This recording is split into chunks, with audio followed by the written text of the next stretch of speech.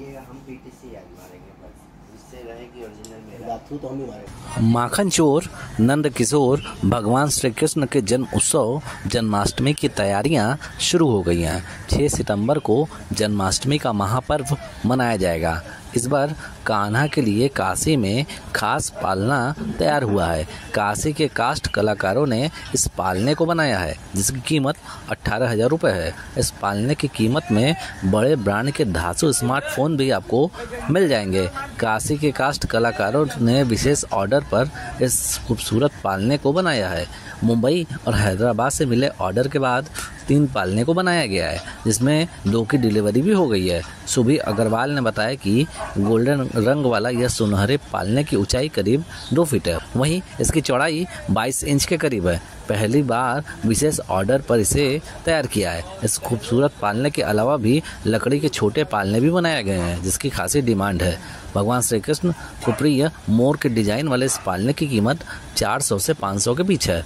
इस जन्माष्टमी पर इसी खास पालने में घर घर में कान्हा जन्म लेंगे। इस पालने की खास बात यह भी है कि इसकी खूबसूरती और इसकी पेंटिंग सालों साल यूँ ही बरकरार रहती है।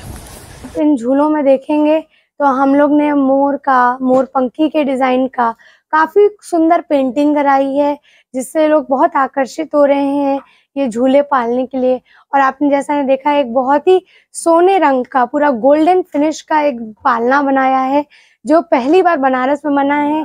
ऐसी बारीकी और ऐसी फिनिशिंग के साथ हम लोग ने पहली बार डिज़ाइनिंग की है, और ये भगवान की कृपा है कि इतनी सुंदर डिज़ाइनिंग जो एक हम लोग का विजुअल था उसको हम लोग ने रियलिटी बना पाए हैं और इसकी डिमांड जो है बहुत जगह हवेली से आ रही है। लोग जो घर में अपने पूरा सजाते हैं करते हैं वहाँ से भी डिमांड आ रही है और काफ़ी ऑर्डर भी है। अगर आपने जो सोने वाले झूले के सबकी कुछ कीमत स्टार्ट होती है सत्रह से अठारह हज़ार से। बाकी जो छोटे झूले हैं ये सब जो छोटे झूले हैं इनकी कीमत स्टार्ट होती है पाँच सौ रुपए से। डिमांड कहाँ कहाँ से है? कितने पीसेस बनाए थे आपने?